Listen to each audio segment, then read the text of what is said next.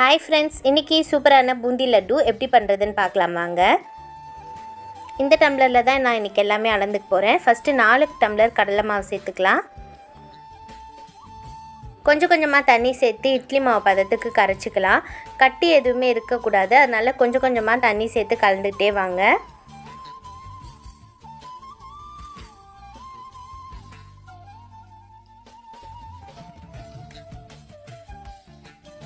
இப்போ மாவு ஃபுல்லாக நல்லா கலந்தாச்சு. இந்த கன்சிஸ்டன்சிக்கு கலந்து வச்சுக்கோங்க.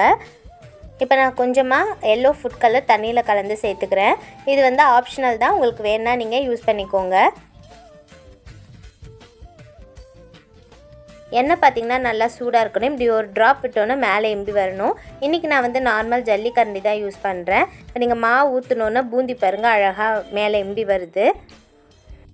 பூந்தி பார்த்திங்கன்னா கலரும் சேஞ்ச் ஆகிடக்கூடாது ரொம்ப கிறிஸ்பாகவும் ஆகிடக்கூடாது லைட்டாக நமக்கு வெந்தோன்னு எடுத்துக்கலாம்.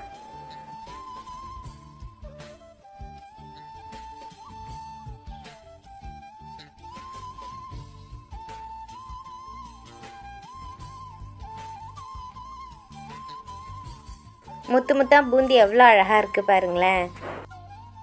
இந்த மாதிரி எல்லா பூந்தியும் நம்ம பொறிச்சு எடுத்துக்கலாம்.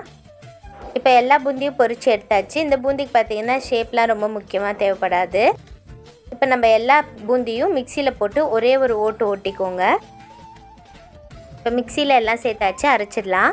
இந்த மாதிரி ஒன்று ரெண்டுமா அரைச்சிக்கோங்க. இப்போ சக்கரை பாகு செய்ய அதே கிளாஸில் ரெண்டு டம்ளர் சக்கரை சேர்த்துக்கலாம். ஒரு டம்ளர் தண்ணி சேர்த்துக்கோங்க. அது கூட ஒரு நாலு ஏலக்காய் சேர்த்துக்கோங்க.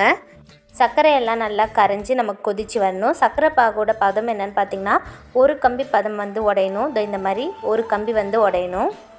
இதுதான் அதோட பதம். முந்திரி திராட்சைலாம் வறுத்து வச்சுக்கோங்க.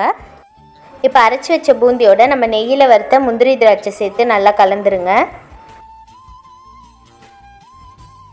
இப்போ கொஞ்சம் கொஞ்சமாக நம்ம செஞ்ச சர்க்கரை பாகை மேலே ஊற்றி கலந்துட்டே வாங்க. நம்ம செஞ்ச எல்லா சர்க்கரை பாகுமே நமக்கு யூஸ் ஆகும். ஸோ ஃபுல்லாக ஊற்றி நல்லா கலந்துருங்க. இப்போ நம்ம எடுத்த எல்லா சர்க்கரை பாகையும் யூஸ் பண்ணியாச்சு. உங்களுக்கு நிறைய சர்க்கரை பாகு இருக்க மாதிரி தோணும். ஆனால் அப்படி கிடையாது. நீங்கள் வந்து ஒரு ஃபைவ் மினிட்ஸ் வந்து இதை அப்படியே மூடி வச்சுருங்க.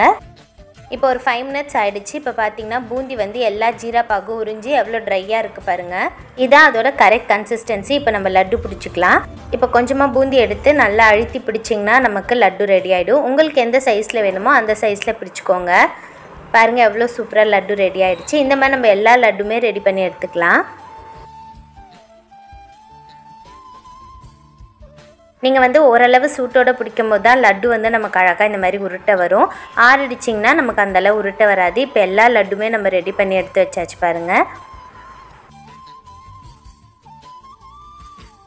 இப்போ இந்த லட்டு எப்படி இருக்குது பாருங்கள் கரெக்ட் கன்சிஸ்டன்சியில் நல்லா ஜூஸியாக இருந்தது. இப்போ சும்மா நம்ம எடுத்த லட்டுலாம் நான் ஒரு ஸ்வீட் பாக்ஸில் வச்சுருக்கேன். பாருங்கள் கடையில் வாங்கின ஸ்வீட் மாதிரியே இருக்குது டேஸ்ட்டும் பார்த்தீங்கன்னா கடையில் வாங்குகிற லட்டு மாதிரியே ரொம்ப சூப்பராக இருந்தது.